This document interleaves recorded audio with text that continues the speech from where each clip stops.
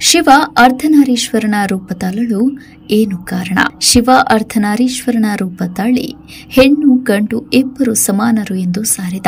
ಅಲ್ಲದೆ ಶಿವ ಅರ್ಧನಾರೀಶ್ವರನ ರೂಪ ತಾಳಿದಾಗಲೇ ಮೊದಲ ಬಾರಿ ಲೋಕದಲ್ಲಿ ಹೆಣ್ಣಿನ ಸೃಷ್ಟಿಯಾಗಿತ್ತು. ಹಾಗಾದ್ರೆ ಯಾಕೆ ಶಿವ ಅರ್ಧನಾರೀಶ್ವರನ ರೂಪ ತಾಳಿದ ಅನ್ನೋ ಬಗ್ಗೆ ತಿಳಿಯೋಣ.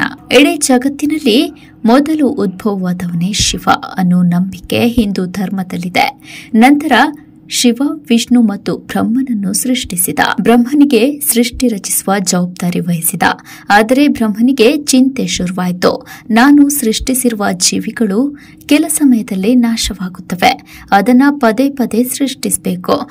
ಇದೊಂದು ಸಮಸ್ಯೆಯಾಗಿದೆ. ಶಿವನ ಬಳಿಯೇ ಇದಕ್ಕೆ ಪರಿಹಾರ ಕೇಳಬೇಕು ಎಂದು ನಿರ್ಧರಿಸಿದನು. ಶಿವನ ಬಳಿ ಬ್ರಹ್ಮದೇವರು ಸೃಷ್ಟಿಯ ರಚನೆಯ ಬಳಿ ಕೇಳಿದಾಗ ಶಿವ ಬ್ರಹ್ಮನ ಎದುರು ಅರ್ಧನಾರೀಶ್ವರನ ರೂಪ ತಾಳಿದ.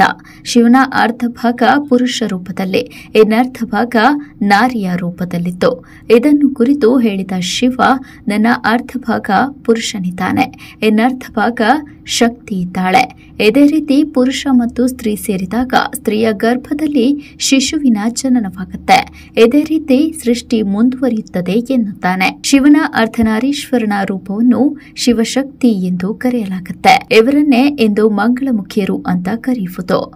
ಓರ್ವ ಹೆಣ್ಣು ಗರ್ಭವತಿಯಾದಾಗ ಮೂರು ತಿಂಗಳು ತುಂಬುವುದರೊಳಗಾಗಿ ಆಕೆ ಯಾವುದಾದರೂ ರೋಗಕ್ಕೆ ತುತ್ತಾದರೆ ಅಥವಾ ಯಾವುದಾದರೂ ಮಾತ್ರೆಯನ್ನ ಅಗತ್ಯಕ್ಕಿಂತ ಹೆಚ್ಚು ಸೇವಿಸಿದರೆ ಅದರಿಂದ ಶಿಶುವಿನ ಹಾರ್ಮೋನಿನಲ್ಲಿ ವ್ಯತ್ಯಾಸವಾಗುತ್ತದೆ. ಅದೇ ಮಗು ಹುಟ್ಟುತ್ತಾ ಒಂದು ಲಿಂಗವಾಗಿ ಹುಟ್ಟಿ ಬೆಳೆದು ಇನ್ನೊಂದು ಲಿಂಗವಾಗಿ ಪರಿವರ್ತನೆಯಾಗುತ್ತದೆ. ಇದೇ ರೀತಿ ಮಂಗಳಮುಖಿಯರು ಹುಟ್ಟುತ್ತಾರೆ. ಇವರನ್ನ ಅರ್ಧನಾರೀಶ್ವರನ ರೂಪವೆಂದು ಹೇಳ್ತಾರೆ.